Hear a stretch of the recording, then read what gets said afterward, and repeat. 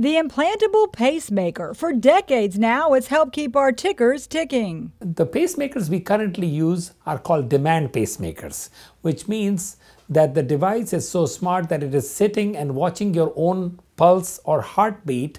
And if it's, the heart would stop or slow down, the pacemaker takes over right away and the patient does not notice any difference. For use in people with a slow heartbeat, the pacemaker uses low energy electrical pulses to overcome faulty signaling. The pacemaker is now also part of a defibrillator. All the defibrillators have a built-in pacemaker, but they're mainly used if the heart goes rapid at 200 beats per minute and the patient is going to collapse or pass out, the defibrillator gives a shock and the pacemaker is a backup. Keeping pace with pacemakers. Currently, devices consist of a battery, generator, and wires or leads that connect to the heart. The latest technology now in testing in the U.S. is a wireless device. Recently, pacemakers were introduced which would be wireless. There will not be a need of a wire, and these are implanted through the groin and it is uh, placed inside the ventricle of the right side.